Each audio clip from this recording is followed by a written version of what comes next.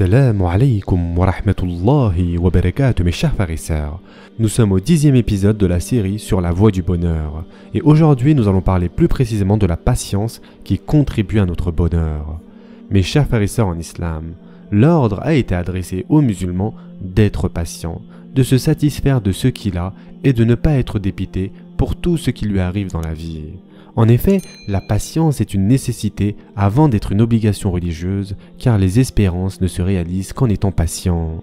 Et Allah subhanahu wa ta'ala dit à ce propos Ô les croyants, soyez endurants, incitez-vous à l'endurance, luttez constamment contre l'ennemi et craignez Allah afin que vous réussissiez.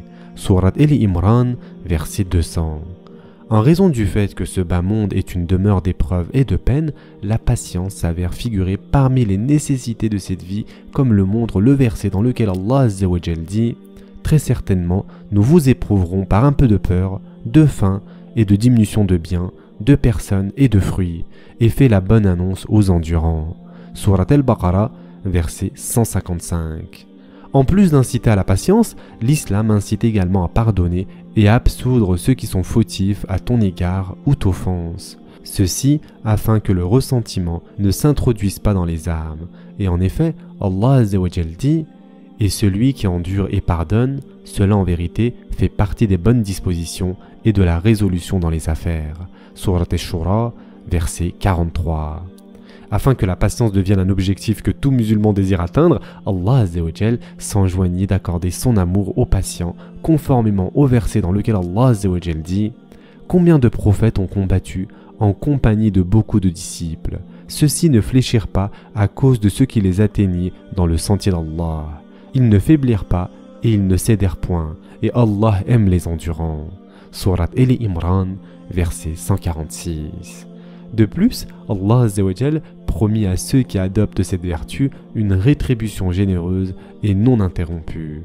Et en effet, Allah dit Dis, ô mes serviteurs qui avez cru, craignez votre Seigneur. Ceux qui ici-bas font le bien auront une bonne récompense. La terre d'Allah est vaste, et les endurants auront leur pleine récompense sans compter. Surat al-Zumar, verset 10. De plus, le prophète sallallahu alayhi wa sallam a dit personne n'a reçu un don meilleur et plus avantageux que la patience. Et ce hadith a été rapporté par Bukhari et Muslim. L'islam nous apprend que la patience dans la difficulté est couronnée par un dénouement favorable et que la patience dans la tristesse est couronnée par la joie, car aucune situation ne dure indéfiniment. Et en effet, Allah dit à côté de la difficulté est certes une facilité. Surat al verset 5. Mes chers sœurs en islam, il est important de comprendre que la patience est de trois sortes. Tout d'abord, il y a la patience dans l'obéissance à Allah et dans l'exécution de ses ordres.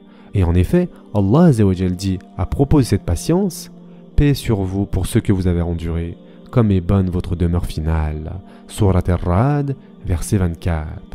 Deuxièmement, il y a la patience dans le délaissement des plaisirs illicites, à propos de laquelle Allah dit Fais preuve de patience en restant avec ceux qui invoquent leur Seigneur, matin et soir, désirant sa face, et que tes yeux ne se détachent point d'eux en cherchant le faux brillant de la vie sur terre, et n'obéis pas à celui dont nous avons rendu le cœur inattentif à notre rappel, qui poursuit sa passion et dont le comportement est outrancier. Surat el-Kahf, verset 28. Mes chers frères et sœurs en islam, je suis vraiment désolé de vous interrompre en plein milieu de ce rappel, cependant je voulais vous faire part d'une chose très importante. L'algorithme de YouTube a décidé de ne plus mettre en avant les vidéos d'Islam Spot, ceci est clairement visible avec le nombre de vues. La portée de ces vidéos est très limitée et c'est pour cette raison que je vous invite à commenter, à aimer et à partager un maximum afin qu'un plus grand nombre de personnes puissent avoir accès à ces vidéos, inshallah. Qu'Allah nous récompense tous pour nos efforts. Et enfin, troisièmement, il y a la patience face au décret d'Allah à propos de laquelle Allah dit Nul malheur n'atteint l'homme que par la permission d'Allah, et quiconque croit en Allah, Allah guide son cœur. Allah est omniscient. Surat al-Taghabun, verset 11. L'islam conseille aux musulmans d'être patients face aux arrêts et au destin d'Allah et lui recommande de prononcer des paroles dites par le prophète afin d'éloigner le dépit, la déception, les regrets et le chagrin. Et en effet, le prophète sallallahu alayhi wa sallam a dit Tout serviteur atteint par un malheur et qui dit ce qu'Allah lui a ordonné de dire, à savoir Nous sommes à Allah et c'est à lui que nous retournerons. Ô oh Allah, rétribue-moi pour ce malheur et remplace ce que j'ai perdu par ce qui est meilleur. Allah remplacera ce qu'il a perdu par ce qui est meilleur. Et ce hadith a été rapporté dans le musnad de l'imam Ahmed. Mes chers frères en islam, il est aussi très important de délaisser la colère et l'emportement, car la colère a des conséquences désastreuses qu'on regrette durant toute sa vie, ce qui fait obstruction au bonheur et fait plonger dans le malheur. Et Allah fit l'éloge de ceux qui délaissent la colère en disant qui évitent de commettre les péchés les plus graves ainsi que les turpitudes et qui pardonnent après s'être mis en colère. Surat Ash-Shura, verset 37. Celui qui peut maîtriser sa colère est capable de supporter les désagréments de la vie. Et le prophète sallallahu alayhi wa sallam a dit à propos de cela L'homme fort n'est pas celui qui vient à bout de son adversaire dans un combat, mais c'est celui qui se maîtrise lorsqu'il est en colère. Et ce hadith a été rapporté par Bukhari et Muslim.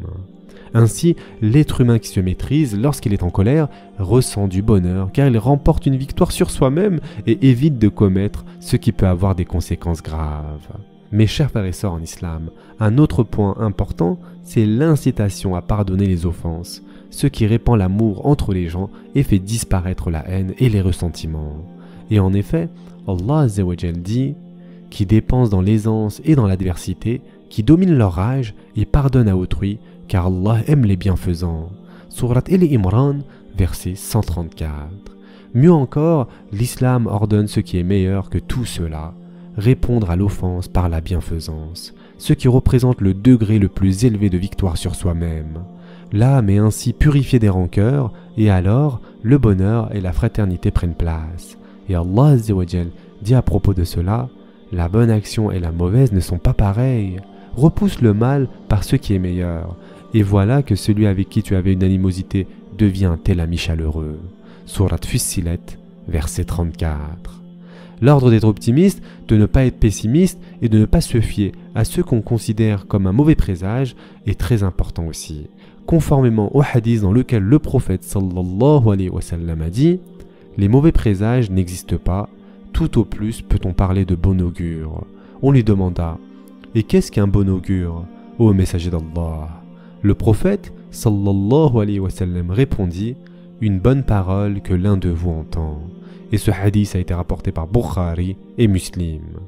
Le prophète sallallahu alayhi wa sallam, qui est le modèle de tous les musulmans, aimait l'optimisme et détestait le pessimisme, comme nous le rapportent donc Bukhari et Muslim. Mes chers sœurs, un autre point important en islam, c'est la défense d'être susceptible et d'espionner autrui. Le susceptible vit dans l'inquiétude, l'angoisse et l'instabilité car il s'attend à être attaqué par les autres. D'autre part, l'espion est détesté et mis au banc de la société.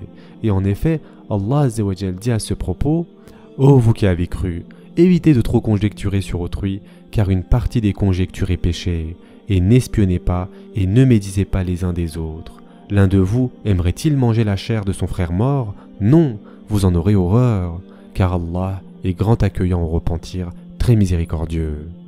Ô homme, nous vous avons créé d'un mâle et d'une femelle, et nous avons fait de vous des nations et des tribus pour que vous entreconnaissiez. Le plus noble d'entre vous auprès d'Allah est le plus pieux. Allah est certes omniscient et grand connaisseur. Surat al-Hujurat, versets 12 et 13. Pour sa part, le prophète sallallahu alayhi wa sallam a dit Méfiez-vous des conjectures, car ce sont les paroles les plus mensongères. Ne vous espionnez pas, ne rivalisez pas entre vous, ne vous enviez pas, ne vous détestez pas, ne vous ignorez pas, soyez des serviteurs d'Allah fraternels, comme il vous l'a ordonné. Qu'un homme ne convoite pas une femme demandée en mariage par son frère, sauf si celui-ci renonce à son projet de l'épouser. Qu'il ne réunisse pas dans le mariage une femme et sa tante maternelle ou sa tante paternelle. Qu'une femme ne jeûne pas en présence de son époux qu'avec son autorisation. Lorsqu'elle fait l'aumône avec ce que possède son époux, celui-ci reçoit la moitié de sa rétribution qu'une femme n'exige pas que sa sœur en religion soit répudiée de sorte à renverser son récipient et être épousée à sa place. En effet, elle doit se contenter de ce qui lui est prédestiné. Et ce hadith a été rapporté par El Bayhaqi. Ce sera tout pour aujourd'hui. En attendant, prenez soin de vous mes chers frères et à très prochainement, Inch'Allah.